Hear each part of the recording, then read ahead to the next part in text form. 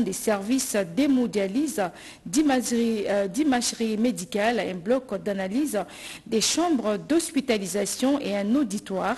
Une initiative du président de la République, Félix Antoine Tshisekedi Chilombo, qui vise à offrir les soins de qualité à la population congolaise. La cérémonie d'inauguration s'est déroulée hier sous la haute autorité du président de la République, Félix Antoine Tshisekedi Chilombo. Reportage. Un hôpital militaire ultra-moderne qui, en termes d'équipement, rivalise avec les grands hôpitaux de renom sur le plan international. Un chef-d'œuvre conçu pour recevoir les cas difficiles nécessitant parfois un transfert à l'étranger. Dans la classification, l'hôpital militaire de la garde républicaine du Conchachi est placé à l'échelle tertiaire.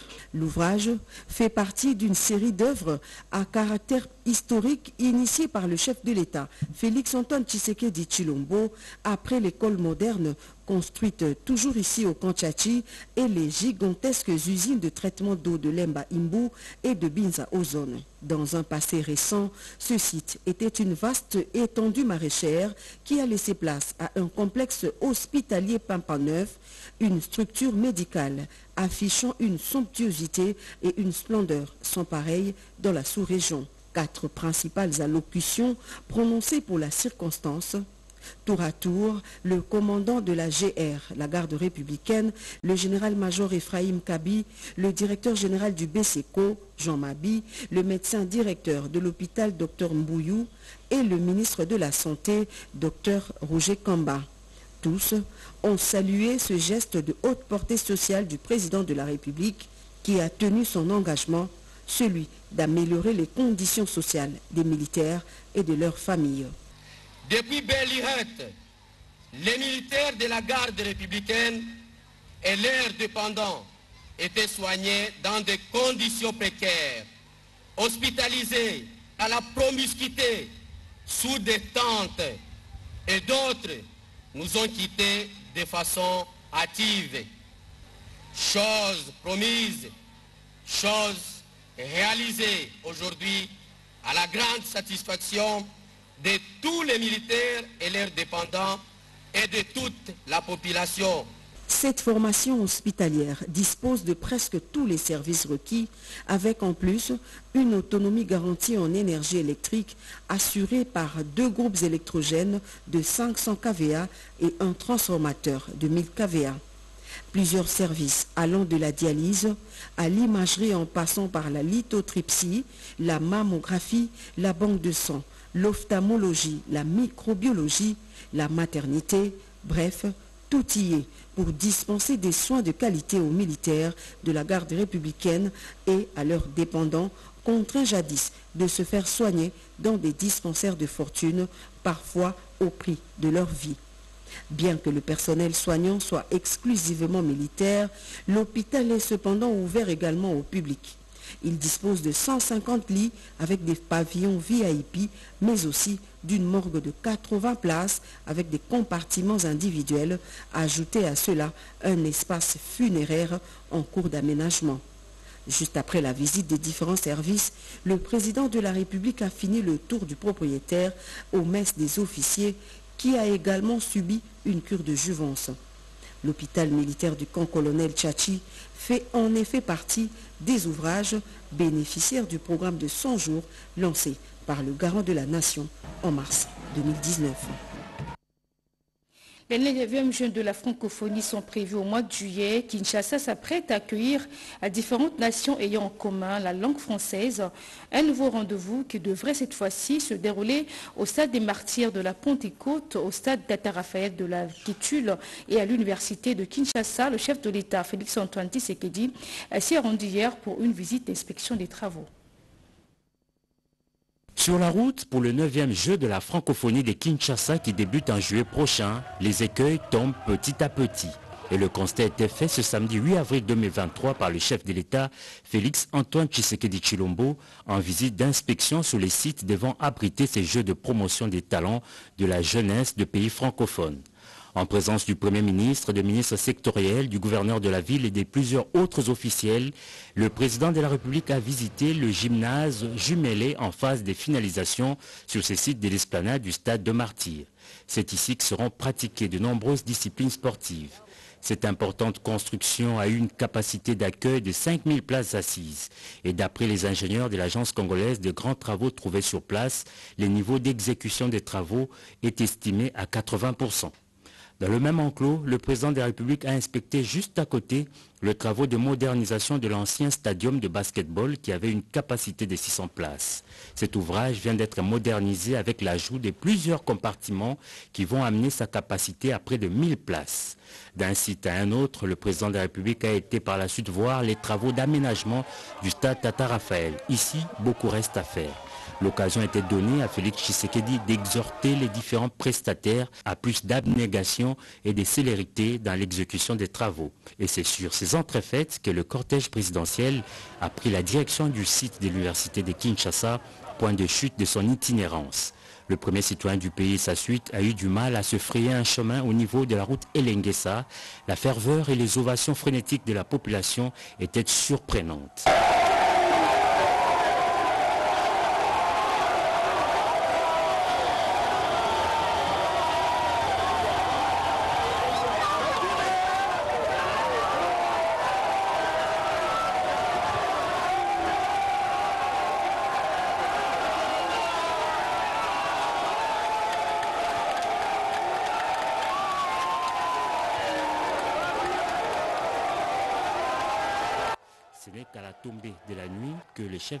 Est arrivé à la colline inspirée où quelques homes destinés à l'hébergement des athlètes ont été aménagés. Ici, les niveaux d'exécution des travaux avoisinent 85%. Au total, 1950 chambres sont déjà disponibles, prêtes à accueillir les premiers occupants sur un total de 4000 athlètes attendus dans cet espace universitaire. Et c'est dans une ambiance conviviale sur fond d'une communion parfaite avec la communauté estudiantine que le président de la République a quitté les lieux sous les vivas d'un public visiblement enthousiasmé.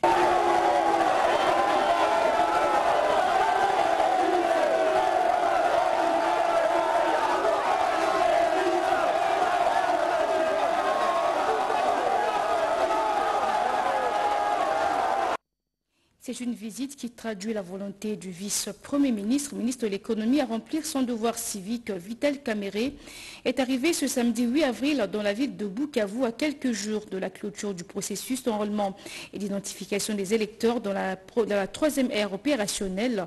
Sur place, le président de l'Union pour la nation congolaise a, communié avec la population tout en les appelant à prôner la paix et l'unité. Les détails avec euh, Annie Mbalaka. C'est un message de paix et de l'unité que le vice-premier ministre, ministre de l'économie nationale Vital Kamere apporte aux milliers de Sud-Kivusiens venus l'écouter le samedi 8 avril 2023 à la place de l'indépendance de Bukavu où il a tenu son meeting malgré la forte pluie qui s'est abattue sur la ville de Bukavu. Vital Kamere a commencé son discours par transmettre la salutation du couple présidentiel au Sud-Kivusiens. Aussi de leur rassurer sur sa volonté de travailler pour relever le défi lui confié par le chef de l'État, Félix Antoine Tshisekedi Chilombo. Plusieurs drapeaux des partis politiques de l'Union sacrée de la nation flottant face à une tribune remplie de hauts cadres de l'Union sacrée de la nation, des opérateurs économiques, de la FEC, des députés nationaux et provinciaux. Bien avant, Vital Kamere et son épouse Amida Chatur Kamere sont arrivés par l'aéroport de Kavumu en provenance de Kinshasa. De l'aéroport de Kavumu, le cortège s'est dirigé au quartier général VK de Kalengera où il était pratiquement impossible pour lui de passer sans tenir un meeting. Un grand moment d'émotion du couple Kamere en voyant le buste à l'image du président de l'Union pour la nation congolaise y érigé par Bertin Moubonzi au cadre de l'UNC. Signalons que dans la soirée, le VEPEM a eu une réunion du Conseil de sécurité provincial sur la demande du chef de l'État, Félix Antoine Tshisekedi Chilombo, autour du gouverneur ad intérim, Marc Malago, et les autorités militaires et celles de la police. Dans le secteur économique, une nouvelle marque vient d'être dévoilée dans le transport multimodal en Afrique. Africa Global Logistique a vu le jour à Paris en remplacement de Bolloré Logistique Malumbela. Nous en parle. Il faudra désormais s'habituer à Africa Global Logistics, AGL en acronyme, en lieu et place des Bolloré Africa Logistics. AGL, cette nouvelle marque a été rendue publique le 30 mars à Paris par le PDG Philippe Labonne. Les changements du nom de cette entreprise centenaire marquent une nouvelle ère dans la rationalisation de la gestion des logistiques multimodales sur les continents africains. Déjà reconnu au niveau mondial pour son savoir-faire indéniable et ses performances avec le professionnalisme de son personnel, AGL va à coup sûr améliorer la productivité des terminaux qu'elle offre au bénéfice de l'ensemble des compagnies maritimes. Fort de l'appartenance au groupe MSC, nous allons pouvoir donner une autre envergure à notre entreprise, tant en matière d'investissement en matière de qualité de service pour nos clients des activités logistiques, portuaires, ferroviaires et portuaires. Nous attachons une importance particulière aux valeurs. Le groupe MSC salue l'ambition des AGL de travailler pour contribuer à la transformation durable de l'Afrique. Nous sommes convaincus que vous allez continuer à offrir des solutions de services de pointe à tous vos clients, présents et futurs afin de pleinement contribuer au succès d'AGL au sein du groupe Cargo d'MSC. Nous sommes certains de la capacité de Philippe à orienter, développer, diriger, guider ce groupe vers l'avenir en tant qu'AGL et nous avons la plus grande confiance dans la compétence, l'engagement, l'expertise. Face aux défis environnementaux, AGL entend réaliser des investissements durables, mettre en place des programmes de promotion de l'éco-responsabilité des transports et mobiliser ses collaborateurs, sous-traitants et fournisseurs en vue de réduire l'impact de ces activités sur l'environnement. Venons-en à cette activité qui vient de booster l'économie congolaise. La grande cimenterie du Katanga implantée à Likassi a développé un projet de production du ciment gris et de la chaux. Agréé au cours des investissements, ce projet qui a créé plusieurs emplois pour les Congolais a été visité par les membres du comité d'agrément de l'ANAPI en mission d'accompagnement dans le Gros Katanga. Voyons cela plus en détail avec Patrick Michel Moukoui.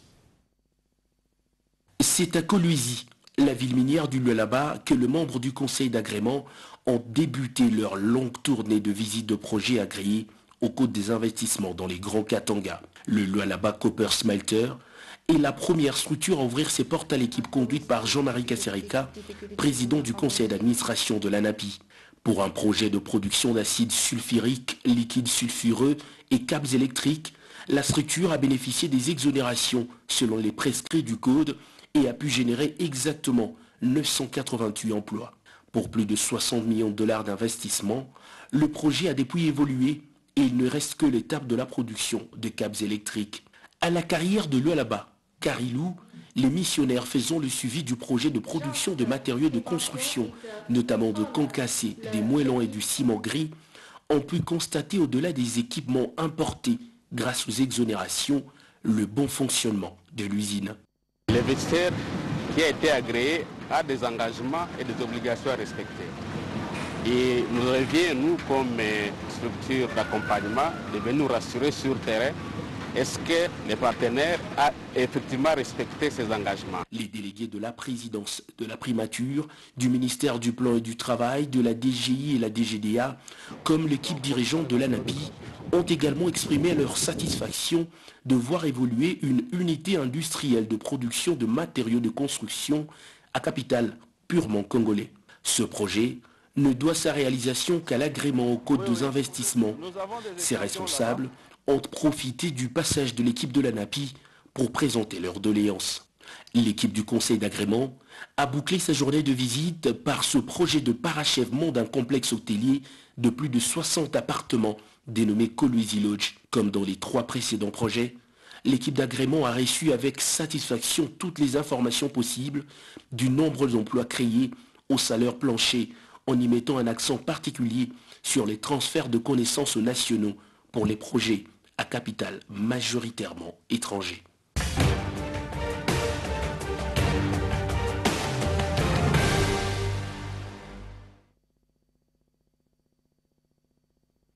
La feuille de route de Luanda et son application effective a été évoquée au cours de l'entretien que le président de la République, Félix Antoine Tshisekedi, a eu au cours de la semaine avec une délégation angolaise conduite par le général Francisco Furtado, ministre d'État et chef de la maison militaire du président angolais. Félix Antoine Tshisekedi a aussi reçu l'ambassadeur de Grande-Bretagne arrivé nom RDC. Le résumé des faits avec Pierre Kibombo Soumouissa. Madame Émilie Matman, ambassadeur de Grande-Bretagne, est arrivée fin mandat en République démocratique du Congo. Reçue à la Cité de l'Union africaine, la diplomate britannique a eu au cours de la semaine des entretiens avec le président de la République Félix, Antoine Tshisekedi Chilombo, avant de quitter le sol congolais. Le partenariat conclu entre la RDC et le Royaume-Uni a été évoqué lors des échanges. Il s'agit d'un partenariat qui s'est cristallisé autour des enjeux liés au développement de la RDC avec une emphase sur la croissance économique soutenue par la Banque mondiale et les Fonds monétaires internationaux sur financement de la Grande-Bretagne, a indiqué l'ambassadeur britannique. Le changement climatique, la protection de l'environnement et le développement durable ont également occupé une place de choix dans le dit partenariat, a-t-elle renchéri. La situation sécuritaire très préoccupante au nord Kivu, dans l'est de la RDC où le M23 soutenu par le Rwanda terrorise des populations congolaises était évoqué au cours de l'entretien que le président de la République Félix Antoine Tshisekedi Chilombo a eu à la Cité de l'Union africaine avec une délégation angolaise conduite par le ministre d'État et chef de la maison militaire, le général de corps d'armée Francesco Furtado, un entretien auquel a pris part le vice-premier ministre, ministre des Affaires étrangères Christophe Lutundula. Les échanges de plus d'une heure s'inscrivait dans le cadre de consultations normales et régulières en vue de la mise en œuvre de la feuille de route de Luanda pour la restauration de la paix et la sécurité dans l'Est de la RDC, et ce, conformément au mandat que l'Angola a eu de l'Union africaine et des mini-sommets de chefs d'État de la communauté de l'Afrique de l'Est. La feuille de route de Luanda poursuit plusieurs objectifs assortis des sanctions et activités ainsi que du délai accordé aux acteurs pour exécuter les dites activités. Elle devrait conduire à la cessation immédiate des violences dans l'est de la RDC et au retrait du M23 du territoire congolais. Le dernier mini-sommet de Luanda avait pris des mesures contraignantes vis-à-vis du M23 à qui il a été imposé un cessez-le-feu et son retrait des zones occupées. Poursuite du procès du député national Mwanga Chuchu dans les tout prochains jours. La commémoration du combat de Simon Kimbangu et de l'éveil de la conscience africaine le 6 avril décrété jour férié en République démocratique du Congo. Une promesse faite et tenue par le président de la République Félix Antoine Tshisekedi et tant d'autres sujets développés dans la semaine en 5 préparés par notre consoeur Malumbela. De tout Kimbanguiste en RDC en particulier et dans toute l'Afrique en général est devenue une réalité avec la première commémoration le 6 avril, devenue journée nationale du combat de Simon Kimbangu et de l'éveil de la conscience africaine. Le vice-premier ministre des forces armées de la RDC, Jean-Pierre Bemba, a reçu en début de la semaine une forte délégation des militaires ougandais. Au menu, l'état d'avancement des opérations conjointes des armées congolaises et ougandaises. Le vice-premier ministre de l'Intérieur, lui, a rendu visite aux victimes de la récente bavure policière. Malaise social dans la société congolaise avec la flambée des prix des denrées alimentaires de première nécessité sur le marché, alors que la majorité de la population vit au seuil de la pauvreté suivie de la dépréciation de la monnaie locale face au dollar. Et face à cette situation délétère, le Premier ministre a tenu une réunion de la conjoncture économique. L'hôpital pédiatrique de Kalembelembe a besoin d'un appui de du gouvernement congolais pour la meilleure prise en charge des enfants souffrant des pathologies congénitales et au besoin y appliquer la gratuité des traitements pour sauver des vies.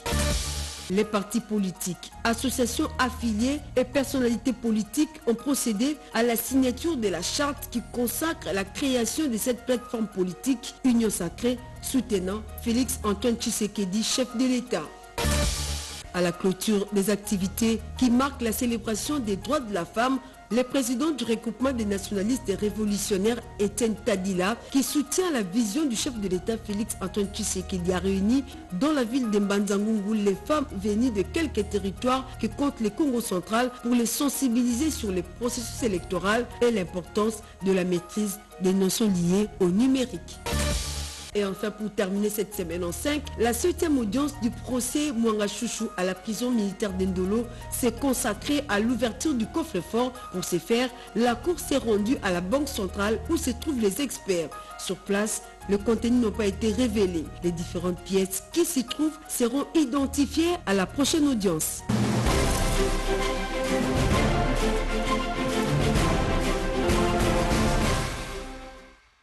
Les taxis-motos ont la côte à Kinshasa. Ils permettent à la population de se déplacer facilement, mais en retour, les conducteurs côte et désagréments décriés par la population ajoutent à cela l'insécurité. Les plus amples précisions dans ce dossier de la rédaction signé Ramazani Moulanda. Les motocyclistes, qu'on appelle Wewa ici à Kinshasa, traînent une réputation de violence et d'incorrigible incivique. C'est un moyen qu'on aime par rapport à la rapidité, mais nous déplorons un peu leur comportement, de la manière où ils conduisent en désordre. Donc, quand tu les conseilles, ils n'attendent pas. Souvent, ce sont des injures. Il y a des Wewa polis et des Wewa très impolis, mais la plupart, ce sont des impolis. Les motos qui ont envahi les secteurs des transports en commun depuis quelques années a été un moyen de transport très prisé et qui facilite le déplacement dans les coins du pays considérés enclavés ou jugés impraticables par les conducteurs des véhicules. Seulement voilà, les taxis motos sont à la base de nombreux accidents dans nos villes. Selon la Commission nationale des préventions routières, CNPR en sigle, plus de 60% d'accidents impliquent les conducteurs des taxis motos. Pour de nombreux spécialistes, du manque d'expérience pour certains, du non-respect du code de route ou des manques de voies appropriées pour la circulation des engins.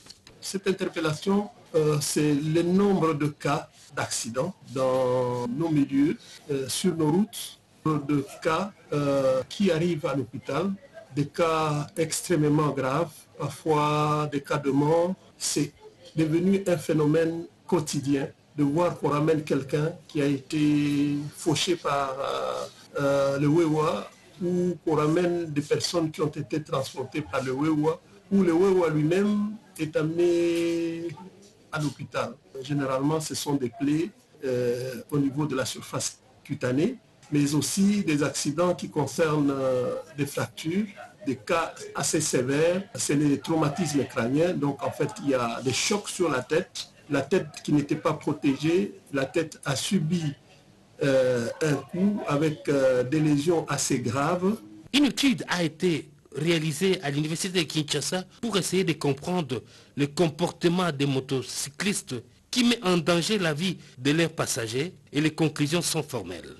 Et ce qui est très dangereux, et surtout la nuit, il y a maintenant de, de, et de Pomba qui, qui, ont des motos et qui font ce transport en commun et qui opèrent arrachent des sacs aux gens. Qu'est-ce que nous avons constaté? Ils ont ce qu'on appelle la dette de sommeil. Donc certainement, ils dorment mal la nuit et ils viennent travailler avec un problème de dette de sommeil. Et pour éviter de le faire, il y en a qui prennent du café et à de grosses quantités euh, pouvant être nuisibles pour la santé. Il y a des motocyclistes, de, de chauffeurs de taxi, de, taxibus qui consomment des substances psychoactives. Avant le comportement des Wewa, les spécialistes pensent que c'est signe de l'affaiblissement du pouvoir au niveau de la famille, au niveau communautaire et au niveau de l'État. Il faut donc que l'État se manifeste par rapport à ces Wewa. Une façon de résoudre ce problème, c'est entre autres d'instituer le permis de conduire pour les motocyclistes. Pour obtenir ce permis de conduire, on devrait absolument s'assurer de l'état de santé mentale de motocyclistes, de l'état de santé mentale aussi de chauffeurs d'autres véhicules de transport en commun. Et il faut absolument sanctionner les contraventions. Les motocyclistes viennent répondre à un besoin de la population à circuler, besoin que l'État ne parvient pas à satisfaire. Réguler le secteur peut être bénéfique pour la population en général.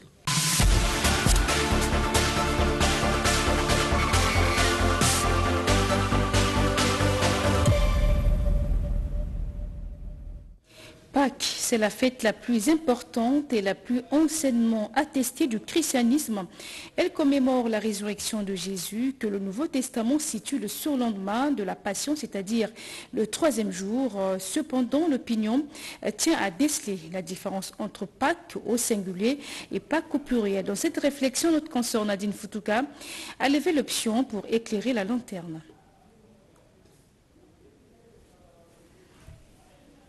L'esprit de la majorité des gens, le mot Pâques indique la fête catholique célébrée chaque année à la même époque pour rappeler la résurrection du Seigneur Jésus-Christ. La semaine qui précède étant consacrée à commémorer la passion et la mort de Jésus-Christ sur la croix. Cependant, bien avant l'institution de la fête de Pâques chrétienne, il existait une autre Pâques dont la description est donnée dans la Bible. Cette fête chrétienne de Pâques plonge ses racines dans la Pâque juive qui commémorait la sortie d'Égypte du peuple des dieux. Remarquez l'absence de S à la fin du mot Pâques. À l'origine, la Pâque est une fête juive ordonnée par l'Éternel à Israël en souvenir de la nuit où un agneau fut immolé et son sang appliqué sur les linteaux de la porte de chaque maison des Israélites afin de les protéger des l'ange destructeurs qui devaient entrer dans la maison des Égyptiens. Il y a certainement des personnes croyantes pour qui la fête de Pâques a un sens réel. Cependant, le plus grand nombre de gens vit dans une complète ignorance d'une quelconque réalité spirituelle. Si les deux mots désignent deux fêtes différentes, il existe alors un grand point commun entre Pâques sans S et Pâques avec S. Avec la Pâque sans S, il s'agit de l'agneau pascal servi traditionnellement pendant le repas des deux célébrations dans la religion juive. Pâques avec S. Chez le chrétien, Jésus-Christ est l'agneau de Dieu. Il est appelé l'agneau de Dieu en Jean 1, 29 et en Jean 1, 39 parce que sa mort constitue le sacrifice parfait et ultime pour le péché. Ceci est mon corps qui est donné pour vous. Faites ceci en mémoire de moi.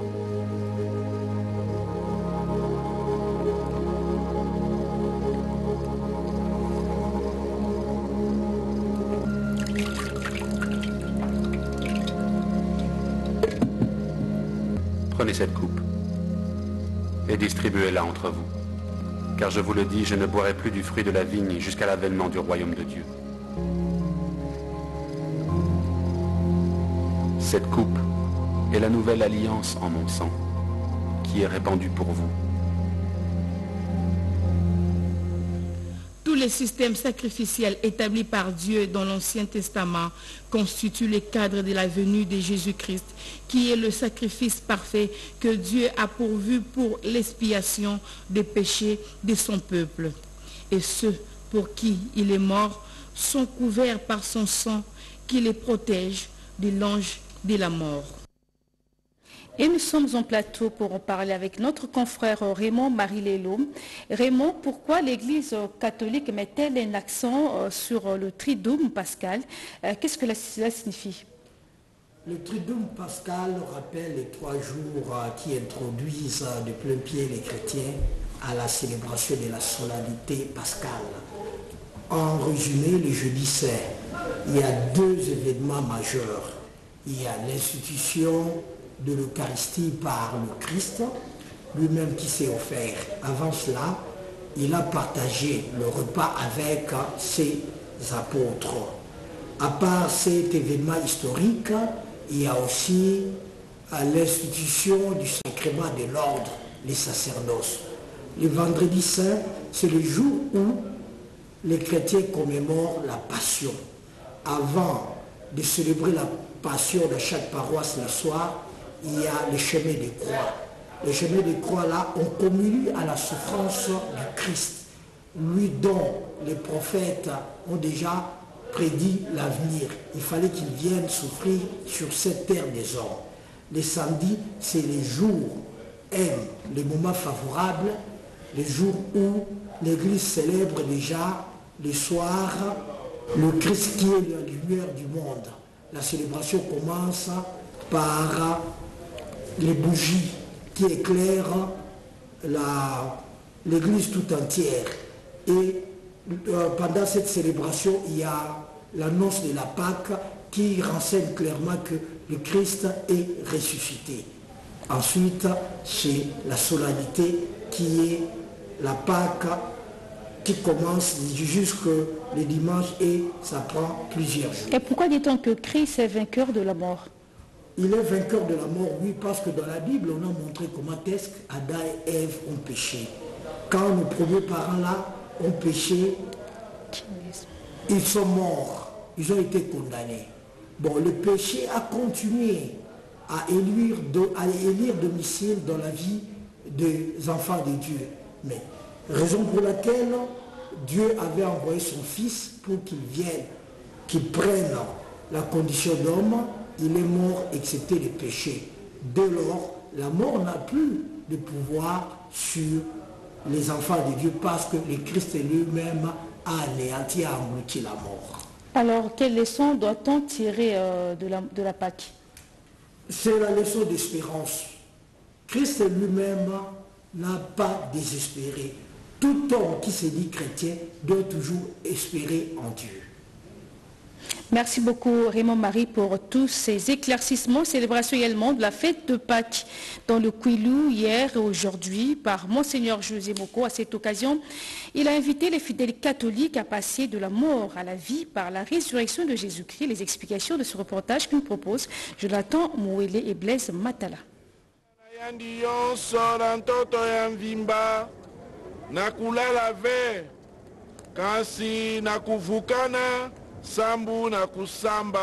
Près de 1500 fidèles de la cité du Diofa ont vécu le passage de la mort à la résurrection du Christ en la cathédrale Saint-Kizito. Mais animé par la chorale des archanges, Monseigneur José Moko a dans son homélie manifesté sa joie avec ses fidèles à travers cette lumière qui vient chasser le ténèbre. Pour lui, les 40 jours ont été suffisants pour ce fidèle à mieux se préparer. Son message est celui-ci, la paix dans son diocèse.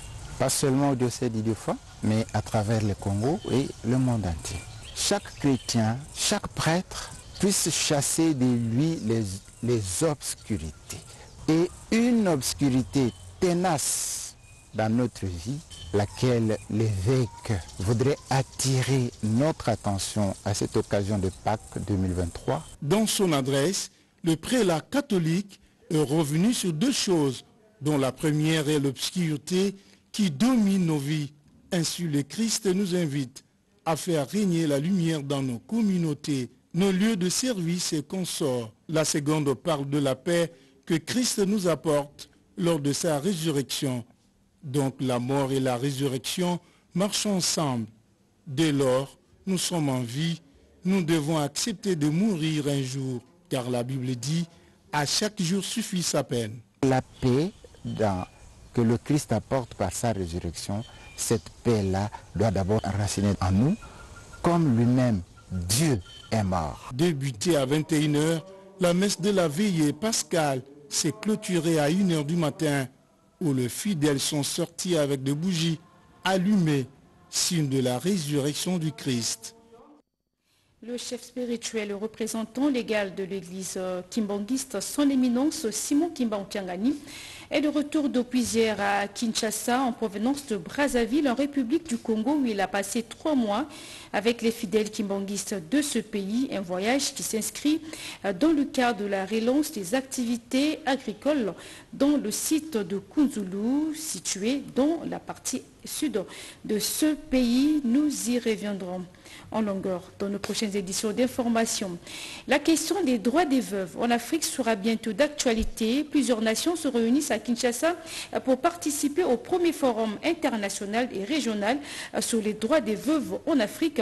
L'initiative est de l'Association des veuves pour la paix et la démocratie présidée par Margaret Owen. C'est qui a motivé, qui a d'ailleurs, voilà qui a motivé sa rencontre avec la ministre du Genre, Enfants et Famille, Mireille, Ma, Mireille Massangou, pour son accompagnement. Les détails avec Yvette Makuntima. Situation de la veuve en Afrique en général et en République démocratique du Congo en particulier est un vrai débat des sociétés. Les conditions des veuves en RDC, sujet qui sera au cœur du premier forum international et régional sur les droits des veuves en Afrique. Margaret Owen, fondatrice de l'Association des veuves pour la paix et la démocratie, en a fait part à la ministre du Genre, Enfants et Famille, Mireille Massangou Bibi Mouloko. Les problèmes des veuves dans beaucoup de pays les veuves sont les femmes les plus invisibles et plus pauvres du monde.